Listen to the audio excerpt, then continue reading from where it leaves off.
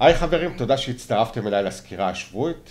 היום יום רביעי, ה-18 לינואר 2017, וכהרגלנו מדי שבוע אנחנו מתכנסים כאן לניתוח מניות ומדדים נבחרים.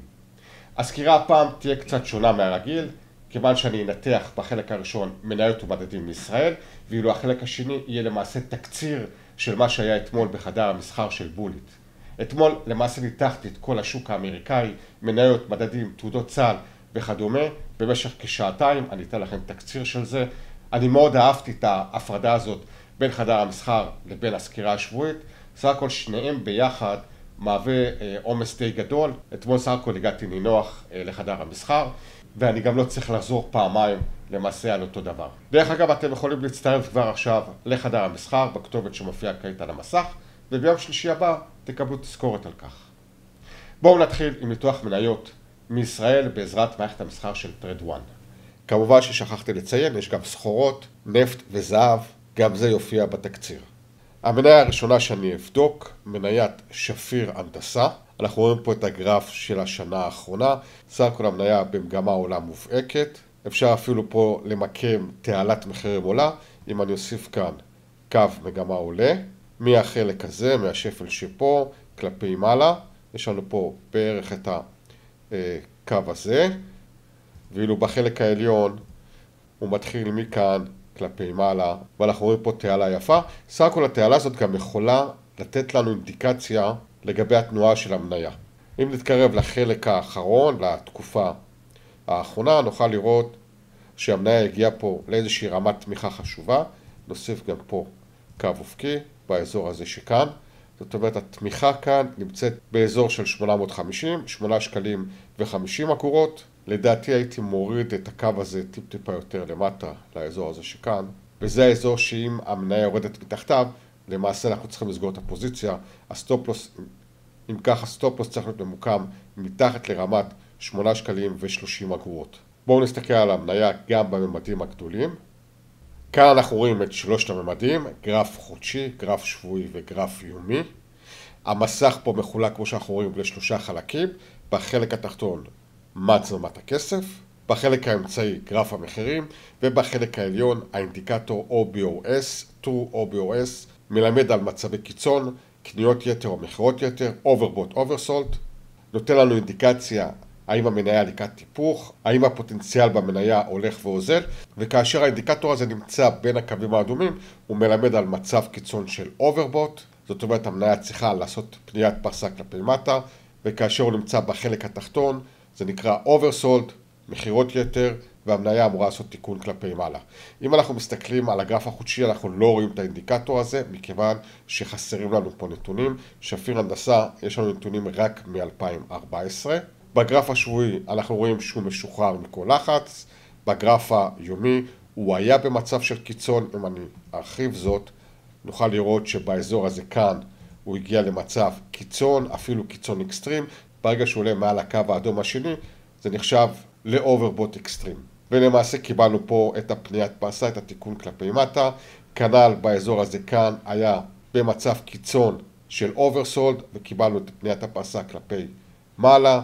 ושוב פעם באזור הזה כאן מצב קיצון של overbought וקיבלנו פניית פרסה כלפי מטה. זאת אומרת באופן טבעי מניה אמורה להתנהג בצורה הזאת עולה ממצב של oversold למצב של overbought ויורדת למטה וככה היא מתקדמת לאט לאט במדרגות. אז מה שאנחנו רואים בשפיר הנדסה היא למעשה שחררה לחץ, היא לא נמצאת במצב של overbought, היא הגיעה כאן לאותה רמה שדיברתי עליה. באזור הזה שכאן, סך הכל היא מתייצבת יפה, ברגע שהיא תשבור את הרמה, אמרתי לכם טיפ טיפה יותר למטה, האזור הזה שכאן, ברגע שהיא תשבור את הרמה הזו כלפי מטה, מבחינתנו זה מהווה stop loss, מחיר הטעות פה יחסית נמוך. המניה הבאה שאני רוצה לבדוק אותה, בואו נחזור ל Trade 1.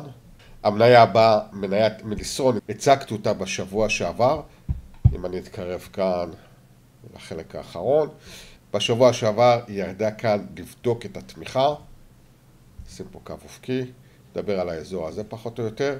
ראינו את מחזורי המסחר הגדולים בעת העלייה, ראינו את מחזורי המסחר הקטנים בעת המימוש. סך הכל נקודה מצוינת להתחברות אל המגמה העולה. ומה שהיא עשתה במהלך השבוע, היא ניסתה לפרוץ כאן את הגבוה האחרון שלה, היא כרגע נמצאת סמוך אליו, אבל אנחנו ממשיכים לראות מתחת שמחזורי המסחר גדולים בעת העלייה, קטנים בעת הירידה. כרגע היא נאבקת על המשך הדרך, נראה טוב, נקווה שהיא תמשיך בצורה הזאת. לגבי מניית טבע ומניית טאוור, שגם אחריהן אני עוקב, ניתחתי אותה אתמול בחדר המסחר, תוכלו לראות את זה בתוך התקציר בחלק הבא. עכשיו בואו נעבור לניתוח מדדים מישראל ונפתח עם מדד תל אביב 25. על המסך אנחנו רואים את מדד תל אביב 25, שלושת ממדי הזמן, גרף יומי, שבועי וחודשי. אנחנו רואים שבשלושת הממדים ה-OBOS משוחרר לחלוטין, אין פה לחץ, מדד תל אביב 25 יכול לנוע למעלה, למטה, אין משהו, אין איזושהי אינדיקציה שיכולה להגיד לי שמשהו אמור לקרות או איזשהו היפוך.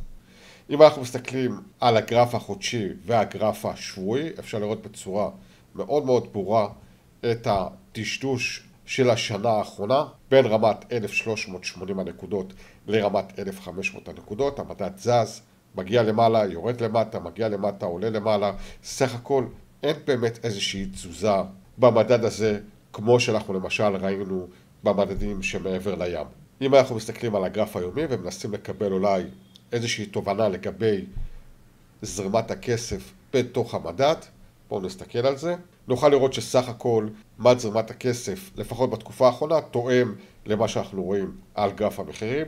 זאת אומרת, גם מכאן אני לא יכול לקבל איזושהי תובנה. כעת מבחינתי המדד הוא פשוט לא רלוונטי, אין לי איזשהו כיוון ברור, והוא בטח ובטח לא רלוונטי עבור מי שסוחר לטווחים יותר ארוכים דרך תעודות צה"ל, כי אז צריך פשוט להמתין או מעל 1,500 או מתחת ל-1,380, בין לבין אין הרבה מה לעשות. בואו נסתכל על מדד הבנקים. מדד הבנקים נראה בדיוק כפי שהוא צריך להיראות בהתאם למגזר הפיננסים ולמדד הבנקים בארצות הברית.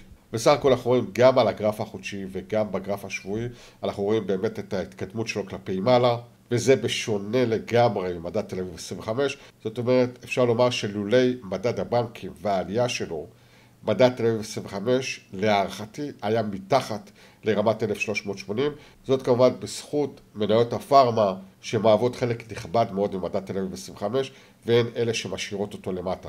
מדד הבנקי פשוט מקזז את הירידות של מניות הפארמה. אבל אם אנחנו מסתכלים על הגרף היומי אנחנו רואים שסך הכל מתחת לפני השטח דרך מד הכסף אנחנו לא רואים באמת כניסה מסיבית של כספים כמו שראינו למשל במגזר הפיננסים או מדד הבנקים בארצות הברית. בסך הכל יש פה סטייה די גדולה, אם תסתכלו על האזור הזה שכאן, ואני אמתח את הקו הזה פה, פחות או יותר, הוא מקביל לקו הזה שכאן על מצלמת הכסף, תסתכלו איפה מדד הבנקים, תסתכלו איפה נמצא מצלמת הכסף, חסר לנו פה הרבה מאוד כספים בתוך המדד הזה.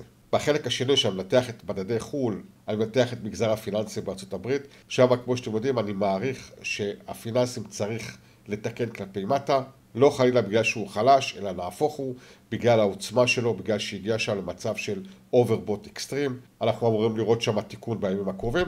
אני חושב שהתיקון שם אה, ישפיע גם על מדד הבנקים אצלנו. בואו נסתכל על תל אביב 75. תל אביב 75 הוא למעשה נטול בכלל מניות תל אביב 25, נראה הרבה יותר טוב, אנחנו רואים פה את הכיוון, כאן למשל אין את ההשפעה של מניות הפארמה כמובן, אנחנו רואים פה את החודשים האחרונים, את העלייה למעשה של השנה האחרונה בתל אביב 75, סך הכל הוא נראה מצוין, אפשר לראות גם את כניסת הכספים בגרף היומי, הוא אמנם היה כאן במצב של קיצון, אבל הימים האחרונים אנחנו רואים שהוא למעשה משחרר לחץ מה-OBOS, אם נסתכל קדימה, נוכל לראות שהוא מתחיל לשחרר לחץ, בד בבד, בלי יציאה של כספים בכלל, בהחלט מדד שנראה מצוין. אם אנחנו נראה את המדד הזה ממשיך לרדת כדי להוריד עוד לחץ מה-OBOS, כי כרגע בכל אופן כניסה למדד הזה היא בעייתית כי הפוטנציאל הוא יחסית לא גדול. אבל אם אנחנו נראה אותו יורד, אז אני מעריך שהרמה הטובה ביותר אמורה להיות באזור הזה שכאן, בין 880 לבין 890, אזור שיכול להיות באמת לחבירה ללונג. אם אנחנו מסתכלים למטה, אנחנו רואים בהחלט את ההתכווצות של מחזורי המסחר בעת הירידה ואת ההתרחבות שלהם בעת העלייה, סך הכל מלמד על מגמת עלייה בריאה. עכשיו בואו נעבור לחלק השני, תקציר ממה שהיה אתמול בחדר המסחר. אז אני אתחיל קודם כל כמובן ממבט על אה, ה-S&P 500 דרך תעודת הסל ספיי, תעודת סל שלמעשה עוקבת אחר ה-S&P 500, והיות וה-S&P 500 נחשב אה, מבחינתי, מבחינת אני חושב רוב המשקיעים או כל המשקיעים כמדד של השוק האמריקאי, אז אני כמובן פותח איתו. אנחנו נמשיך לאחר מכן עם, אני אציג לכם מניות שעלו למעשה היום ברשת אה, של מטאסטוק. אני גם אראה לכם דבר חדש שהיום למעשה התחלתי איתו, ונמשיך למגזרים אה, של השוק האמריקאי, וכמובן את היום את כל מה שאנחנו רואים אה, במהלך המסחר.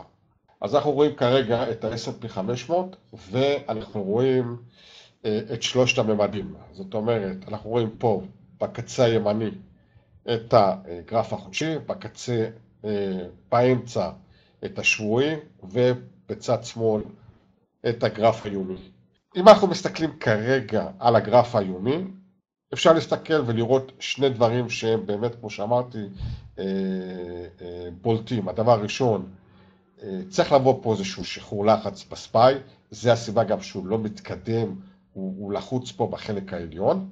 הדבר השני שאני מסתכל עליו זה מה קורה מתחת לפני השטח, האם ישנה יציאה של כספים, האם ישנה כניסה של כספים, ואפשר לראות שסך הכל, אם אנחנו מסתכלים, יש תיאום מלא בין ההתנהגות של מחזורי המסחר לבין גרף המחירים, וזה דבר טוב, זה דבר טוב להמשך. גם אם יבוא תיקון וגם אם לא יבוא תיקון, אה, מה צלמת הכסף כרגע במקטע האחרון שלו, אה, שמדבר על המקטע הזה, לא מראה אה, אה, איזושהי בעייתיות. יש כן בעיה, אם אני מסתכל טיפה אחורנית, למשל על האזור שכאן. ואם אני אקח את הקו האופקי הזה שפה, ואני אצמיד לו בדיוק אותו דבר על מצלמת הכסף, אחד לאחד, אני אראה שבעוד שעל הגרף הוא נמצא מעל הקו, הרי שמתחת לפני השטח, אנחנו רואים ש... אה, לא נכנסו כספים כפי שהיו צריכים להיכנס כדי שזה ייראה תואם לחלוטין. נכון שהחלק האחרון הוא בסדר, הטשטוש כאן זה בסדר גמור, רק המקטע היותר רחב ישנה קצת בעייתיות שחסרים כספים. יכול להיות שזה יעבור בהמשך, אה, אני לא שולל את זה בכלל. אם אני מסתכל בחזרה על כל אה, הממדים, אם נסתכל על כל הרצף הזה, אז יש לנו פה רצף של שבע שנים, של עליות. אין שום סיבה גם שהוא לא ימשיך לעלות. זאת אומרת, כרגע, במדעי הזמן הגדולים, אנחנו לא רואים שה-OBOS נמצא כרגע באיזשהו מצב אה, אקסטרים כמו שראינו באזור הזה שכאן, שסימן לנו פה, ותבינו שכל אחד פה זה חודש, זאת אומרת, יש לנו פה כמעט שנה שלמה שאופיינה בירידות ב-2011, כי הוא היה פה במצב של אקסטרים, אה, או במצב של 2007, שאז הגיעה הנפילה הזאת של הסאב פריים. זאת אומרת, אם אני אראה בעתיד שה-OBOS בממד החודשי נמצא באזור הזה, אתם לבד מבינים שצריך להגיע פה, צריכה להגיע פה איזושהי ירידה מאוד מאוד גדולה אה, שתימשך, לא שבועיים שלושה, תימשך מספר חודשים.